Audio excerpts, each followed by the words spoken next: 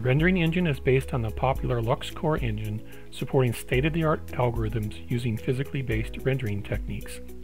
This video introduces the user to the new features and how to access these features through the updated user interface. Some of the more prominent new features introduced with the version 14 rendering include support for CPU and GPU devices. If you have a new ARM M1 Mac, those GPUs are now leveraged into your rendering. Additionally, uh, lighting has been updated. We do support HDRI, sun, sky with options to control gain, gamma, and rotation.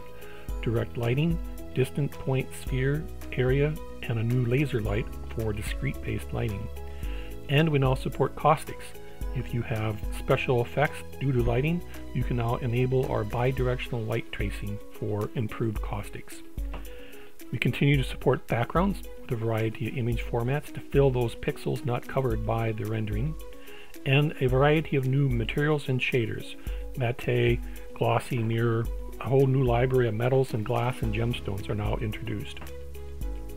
There continues to be a large texture library that you can drag and drop onto your models, including textures, image maps for your base or diffuse color, bump, normal, roughness, or alpha mask. And your textures include the ability to uh, adjust the UV scaling, rotation, or gain parameters. And lastly, a suite of powerful post processors are now included. This includes the denoiser, uh, gamma correction, color aberration, vignette, and tone mapping.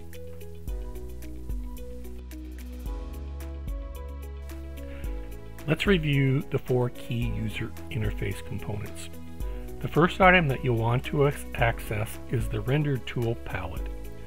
This is accessed from the menu bar Tools Photo Render. Use this tool palette to render or set up everything about your scene to render. This tool consists of the Create Camera, Render Camera, Render Current View, Render to File, Recall Last Render, and Render Settings.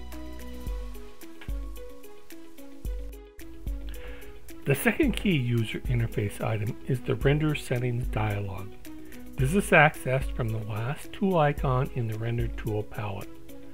The photorealistic render settings sets all the parameters associated with general settings, HDRI, backgrounds, sun and sky lighting environments, materials, textures, and post-processing effects. The next important user interface item is the Render Library, accessed from the Tools Rendering menu bar. This user interface provides access to textures and materials that can be dragged or dropped onto your models.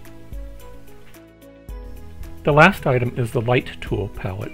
This provides tools to create discrete light sources in your model, potentially augmenting any environmental lighting you may have.